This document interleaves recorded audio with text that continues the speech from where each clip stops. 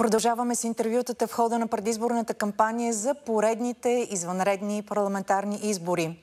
Срещаме в студиото на тази събота фигури с богат опит в политиката и такива, които те първа навлизат в особеностите на българския политически живот.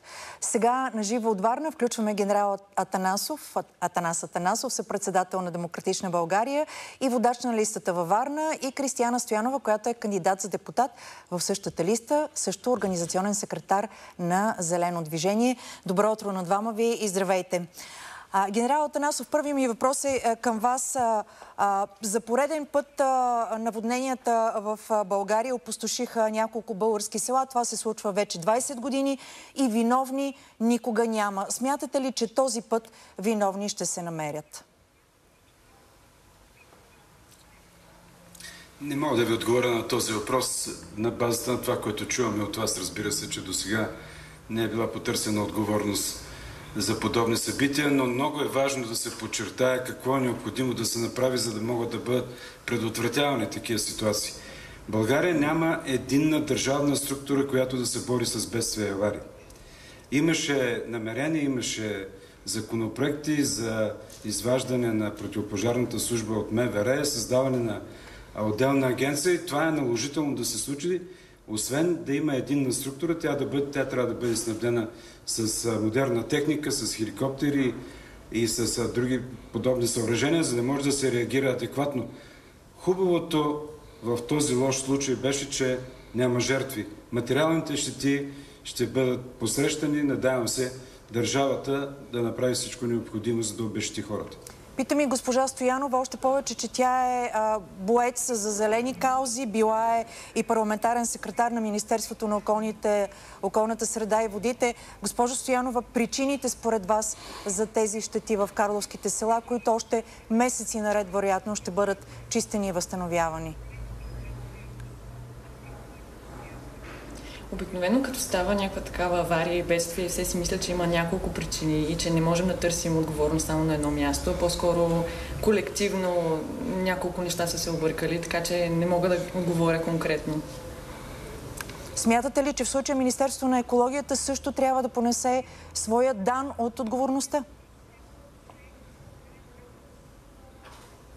Вероятно, да. Добре, друга тема. Генерал Танасов, реформите в МВР и влиянията, на които е подвластно Министерството през годините. Според главния секретар на МВР Петър Тодоров, Георги Семерджиев, това е мъжа, който уби двете млади жени тук на булевар Черни връх в София, е бил обслужван или подпомаган от близо 40 служители на МВР. Как се чистят тези зависимости и кога според вас МВР ще престане да прави услуги на престъпниците?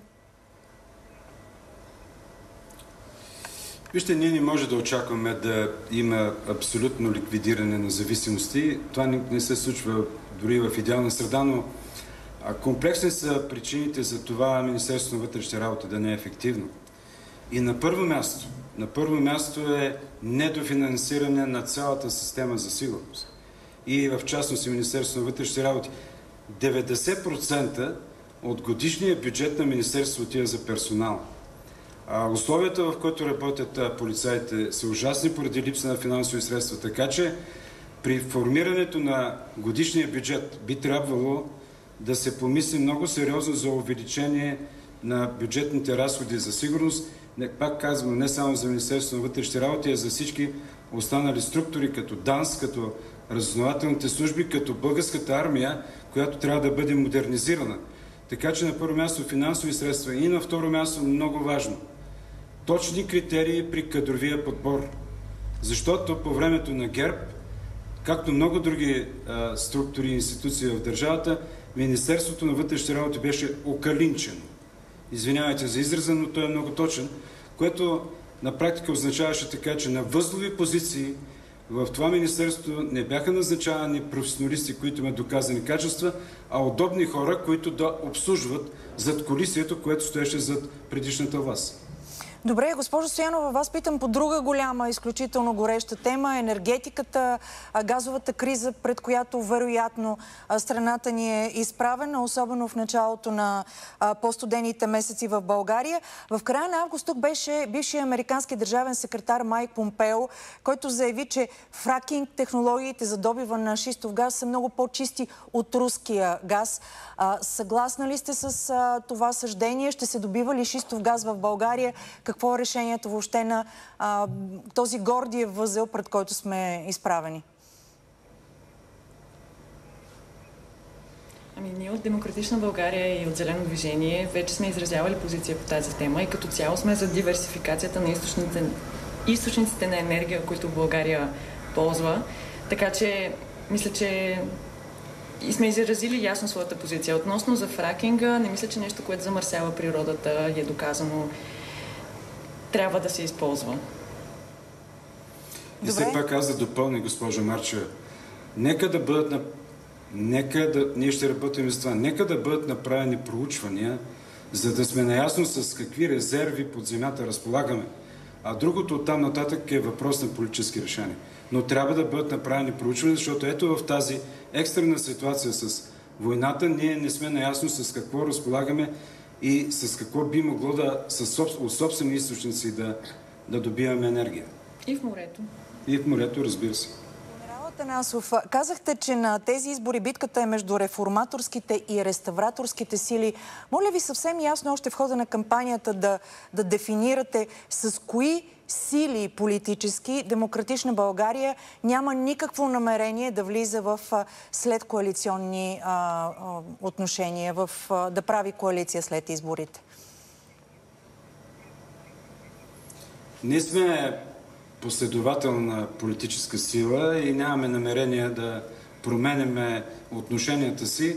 А, да, това деление, което аз направих, го поддържам че на тези избори основният сблъсък е между реформаторските и реставраторските сили.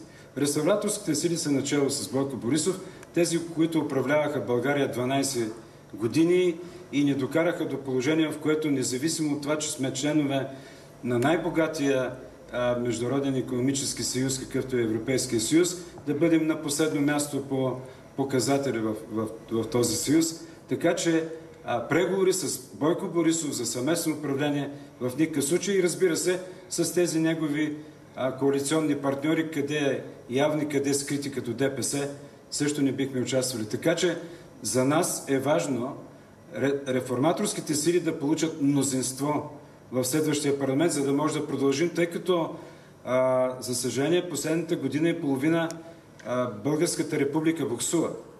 Възможно Парламентарната ли е... република буксува. Основният, ли... орган на държавна, основният орган на държавна власт не, не работи. Възможна ли е коалиция между Демократична България след изборите с БСП и Възраждане? С Възраждане в никакъв случай, моля се, да започна отзад напред, а, защото ние сме евроатлантическа политическа сила, поддържаме силно нашето членство в Европейския съюз и НАТО. Възраждане е политическа сила, която обслужва руските интереси в България и заявява открито, че искат да излезем от, от НАТО и Европейския съюз. А иначе с, продължаваме промяната и с БСП. Ние бяхме в едно мнозинство и смятам, че свършихме полезни работи а, за България. Аз съм убеден обаче, че българските граждани, давайки си сметка за това, че наистина трябва да а, имаме устойчива власт, ще подкрепят реформаторските сили, за да получим мнозинство, за да излезем от тази спирала на постоянни избори, за да може да имаме работещ парламент и правителство, тъй като има много предизвикателства, които трябва да бъдат посрещнати и да бъдат решавани от работещ парламент.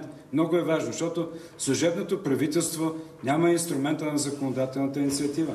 Последен въпрос, моля ви за кратък отговор. Заедно с Кристияна Стоянова сте във Варна. Вие сте части двамата от Варненската листа на Демократична България. Какъв съвет и давате като на човек, който прави първите си крачки в политиката, който те първа а, заявява участието си в политиката? Кристияна я познавам от парламентарната ни дейност, както вие казахте, тя беше парламентарен секретар на Министерството на околната среда и водите. Един много образован и перспективен човек. Нека да бъде себе си. Това мога да ви пожелая. И ако наистина сме на финала, искам да призова българските граждани, подкрепете демократична България на тези избори. Ние сме последователна политическа сила с номер 25 бюлетината. Добре, благодаря ви за този разговор. Както винаги казвам в края на тези интервюта, нека най-добрият победи в тези избори.